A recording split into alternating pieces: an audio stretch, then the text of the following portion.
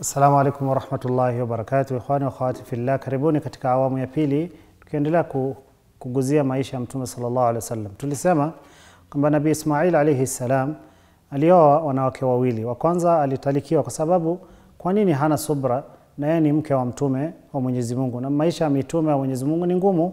Ndio maana Nabii Ibrahim alaihi salam alipokuja na hakumpata, alimwambia mwambie abadilishe mlango, kumaanisha kwamba amtaliki. Huyu wa pili wakaruzukiwa na yeye watoto kumi na mbili na watoto kumi na mbili eh, Sheikh Mubarak Safiur Rahman Mubarak Fori katika kitabu inaitwa Rahiqul Maktum amewataja.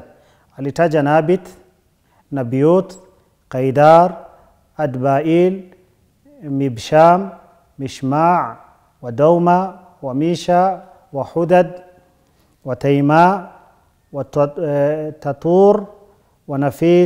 wa eh, Qaiduman. Hawa ndio watoto wanaume wote watashaabat haula ithna ashara qabila, ikatoka kabila kumi na mbili katika watoto wa Ismail alayhi salam.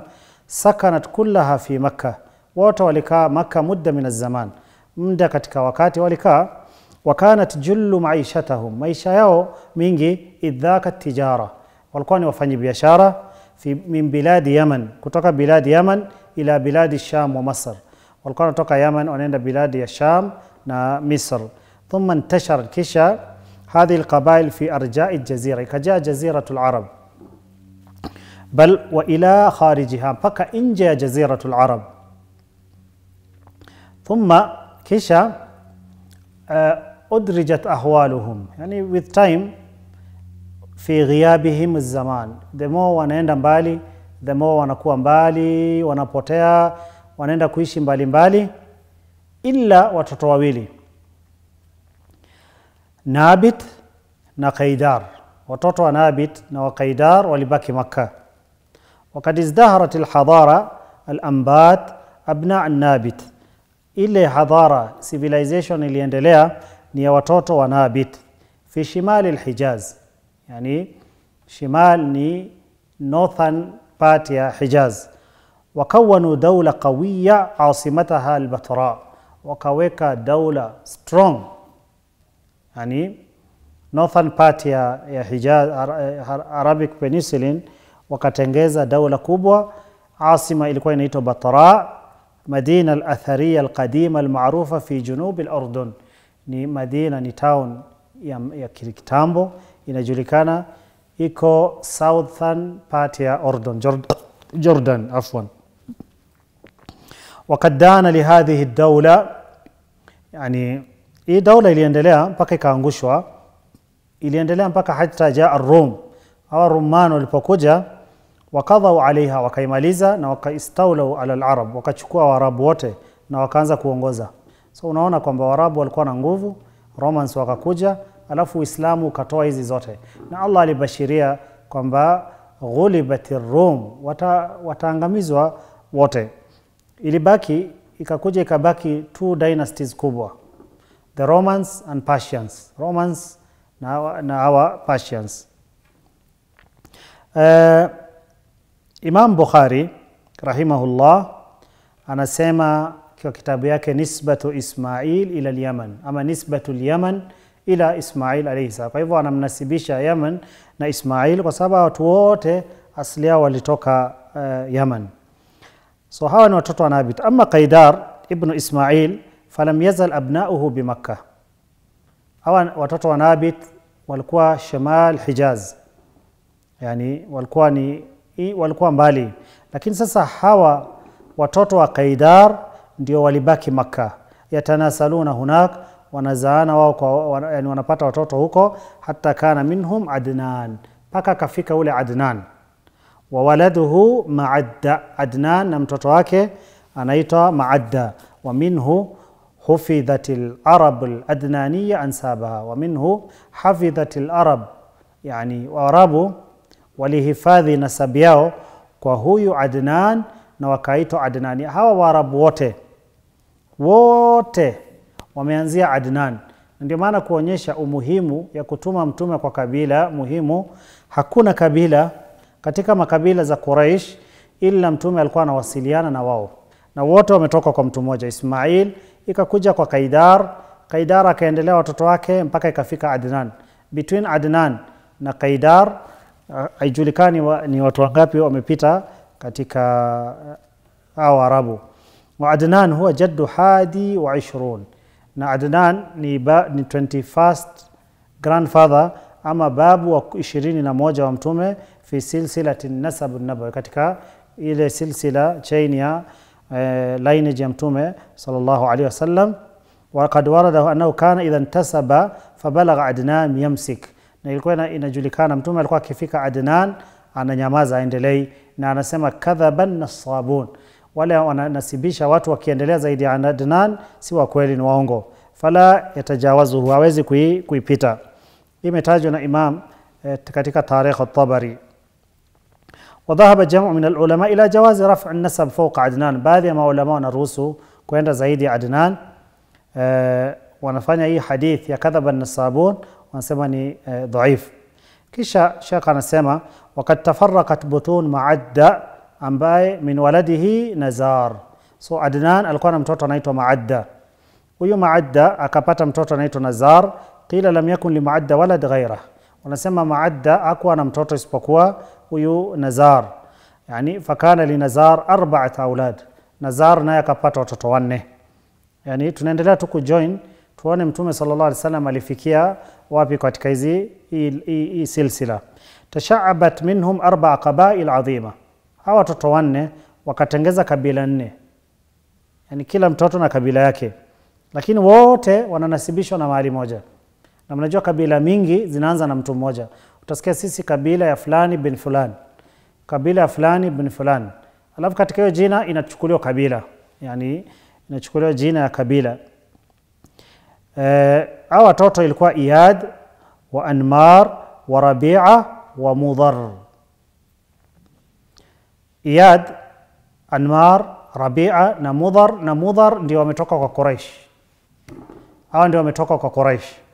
Hawa ndio Quraish walitoka hapa. Wa hadhani alakhirani, hizi mbili Rabia na Mudhar, alladhani kathurat butunahuma wattasaat afkhadhuhuma, hizi kabila mbili Rabia na Mudhar ndio zilienea zaidi kuliko kabila zingine mbili. Fakana min Rabia, Rabia alikuwa na watoto ambao wametajwa ni wengi. Ama Mudhar, Mudhar ambao ndio inatuhusu kwa sababu hao walitoka kabila mingi. Kulikuwa na uh, uh, Dhubeia wa Asad, wakakuja kabila mingi, Banu Qais, Banu Shaiban, Banu Hanifa wa ghairihima, yani so wa amma Sheikh anasema awa Hanifa wa ghairihima wa amma uh, anza فمنها آل السعود ملوك المملكة العربية السعودية في هذا الزمان أو حنيفة na hiyo kabila ndio inanasibishwa na kabila ya wafalme Al Saud, familia ya Al Saud ambayo inaenda yani ina, inafika katika hii kabila. Kwa hivyo wao ni ni Arab Waarabu asli kutoka Jaziratul Arab, kutoka Jaziratul Arab. Kwa hivyo kisha wanasema na Allahu alam watashaabat qabail Mudhar, na kabila za Mudhar ikagawanyika ila shubataini adhimatain, kabila mbili kubwa. Yani Mudhar iligawanyika kabila mbili kubwa, na hapa ndio maisha ya mtume inaanza sasa. Wazazi wa mtume wote sallallahu alaihi wasallam, Qais Ailan ibnu Mudhar, yani mtoto wa Mudhar anaitwa Qais Ailan, wa butun Ilyas min Mudhar yani kuna كنا قيس عيلان نا إلياس ابن مضر. آية. بطون يا يا قصي يا يا قيس عيلان وكتوك بنو سليم بنو هوزان بنو ثقيف بنو صعصع بنو غطفان ومن غطفان بي كتوك عبس وذبيان وكنا بيغناغا زما ذا جاهلية وأشجع وأعصر يعني كتك هوا كبيلة.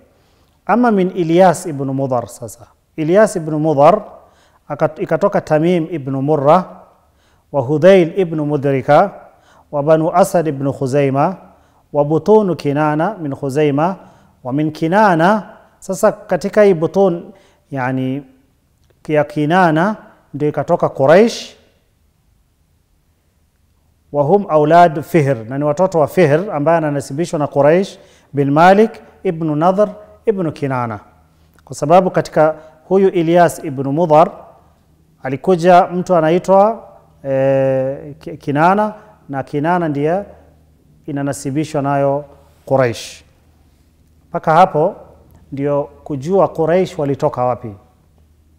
Tumesema tumetaja hizi kabila zote lakini kabila kubwa ambayo inatuhusu hapa ni katika maadda alipata mtoto anaitwa nazar. Nazar akapata watoto wanne. Hawa watoto wanne ambao tulitaja wawili ndio walibaki na watoto wao wakakuwa wengi rabia na mudhar.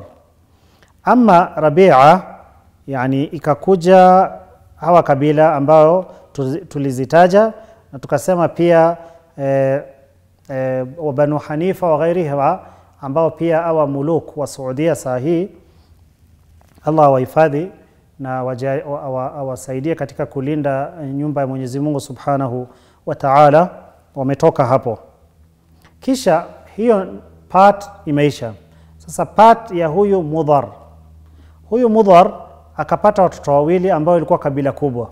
Qais Ailan, qais ailan ibnu mudhar yani qais ailan alafu na ilyas ibnu mudhar. Qais ailan ibnu mudhar na ilyas ibnu mudhar. Hawa Kais ailan ikatoka banu suleima wa kabila zote alafu ikakuja ilyas katika ilyas ibnu mudhar ilikuja kuna mtu anaitwa tamim ibnu murra hudhail na kinana mpaka ikafika kinana na kinana ni katika kabila ya quraish. Ndio quraish walitoka hapa na quraish wananasibishwa na mtu.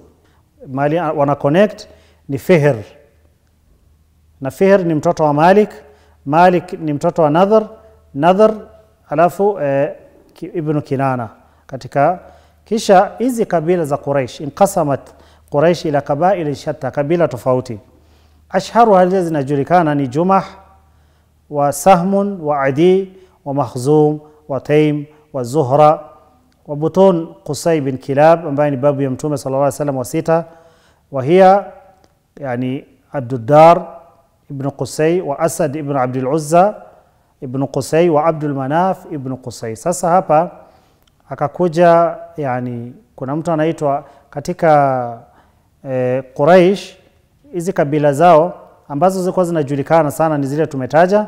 Na pia katika qusay bin kilab alipata abduddar ambaye ni mtoto wa qusay na asad na abdul uzza na abdul manaf. Abdul manaf pia akapata watoto ambao walikuwa wanaitwa abdushams wa naufal wa mutalib wa hashim alafu kwa hashim ndio ikanasibishwa naye mtume sallallahu alaihi wasallam rasul saa salam anasema katika hadithi kwa kwa muslim katika kitabu lfadhail ina allaha astafa min waladi ibrahim ismail allah alichagua katika watoto wa ibrahim ismail ومن ولد إسماعيل واصطفى من ولد إسماعيل بني كنانة. أكتشغوا كتيكا وتوتو إسماعيل كنانة.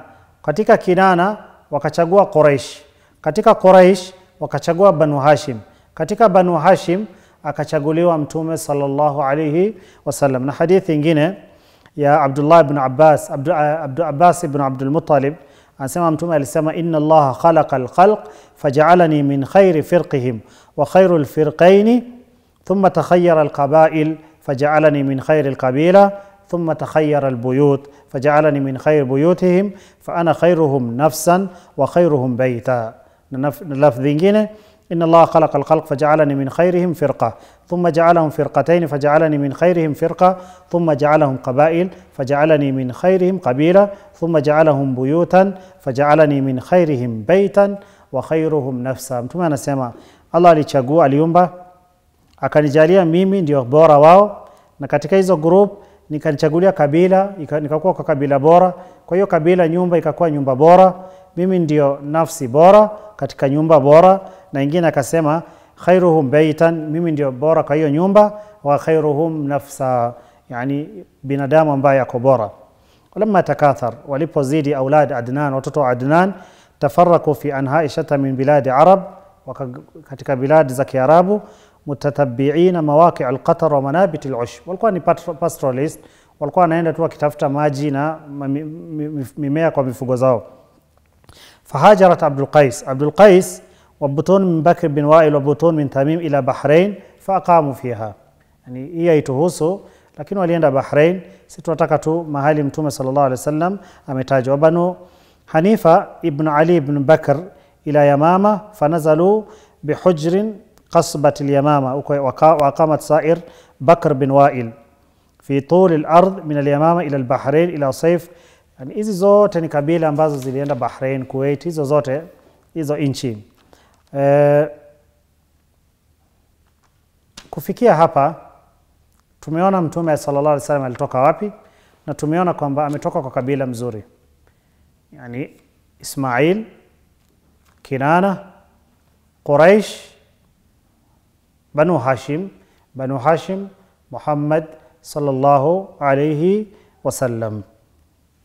Uh, hii ndio ilikuwa nataka kwanza tujue na tuelewe kabla tuingie kwa maisha ya mtume sallallahu alayhi wasallam. Inshallah kwa darasa itakao kuja tutaangalia, je, mtume sallallahu alayhi wasallam kabla atumwe maisha ya Waarabu ilikuwa vipi?